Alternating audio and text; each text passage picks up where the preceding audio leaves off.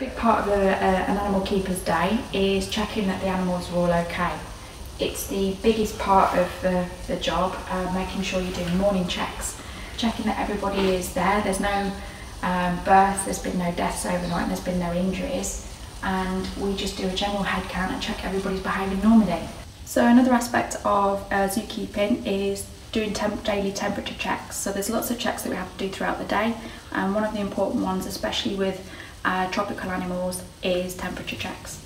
So it's part of the zoo licensing and BALAI um, that we need to make sure that we've got accurate record keeping in place. So every day we all come down here and we all check the temperatures with all the thermometers and humidity readers in the enclosures.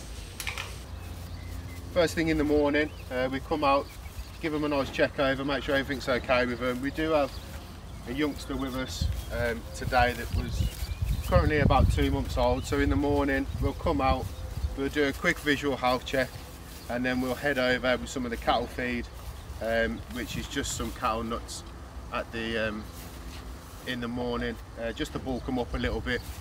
And then once we've done that, um, while they're eating, it gives us a good chance to sort of check over the, the back end of them um, and just make sure everything's okay.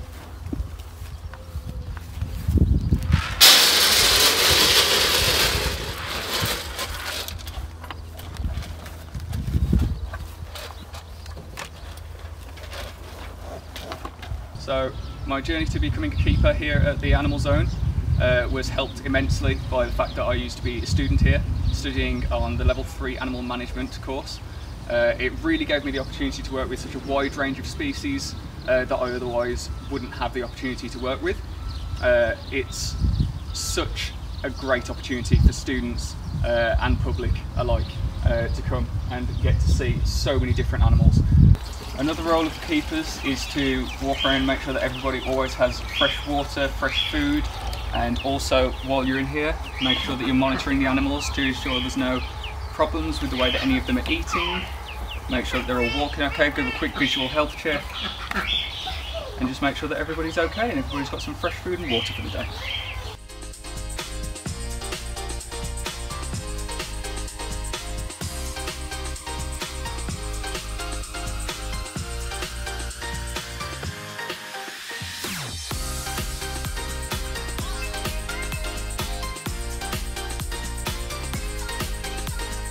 This is our Eastern Indigo snake. He was only born last year at Birmingham Nature Centre.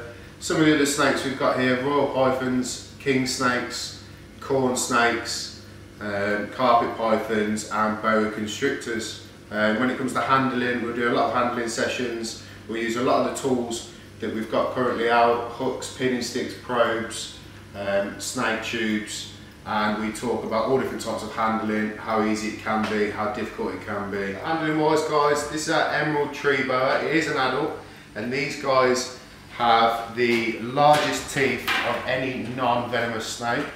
So these guys are quite impressive when it comes to handling. Um, it is something that we do a lot of here.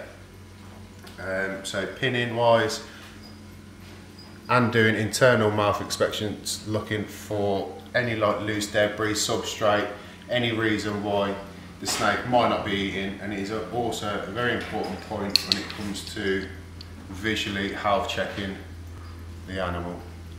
We need to fill out daily report sheets, um, we have to do um, temperature checks and things like that, but for on a bigger scale, we have to be complying with certain record keeping um, aspects as part of our zoo license as well as our BALAI.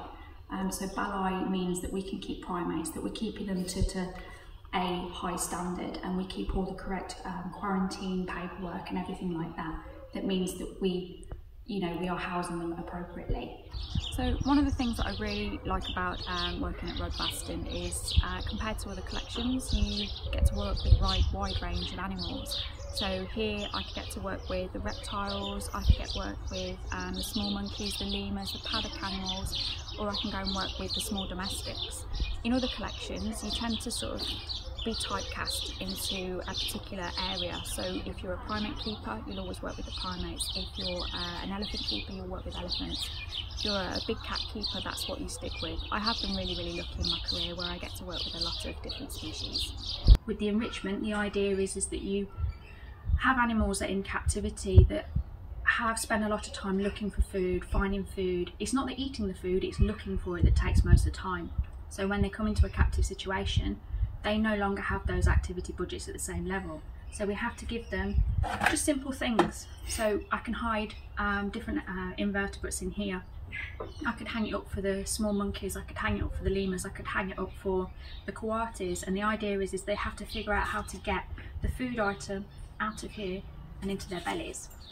Another one is if you have um, dog toys. So the animals have to figure out if it's a cognitive stimulation as opposed to physical manipulation.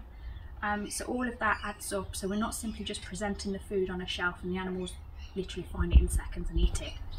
Another aspect is training. So training is a massive part of any animal keeper's uh, job.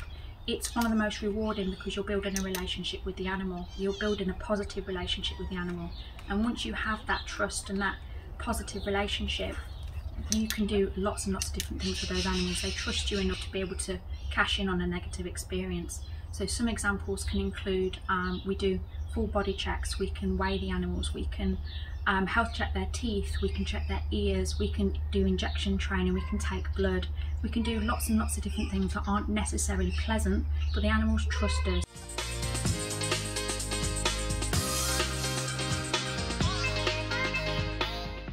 Most people think when you get a career, it is just a job. You go to work in the morning, you do your job, you go home.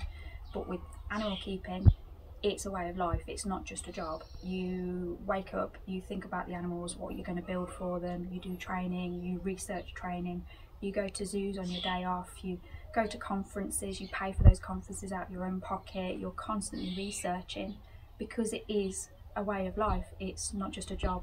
Um, so zookeeping, not for the faint-hearted.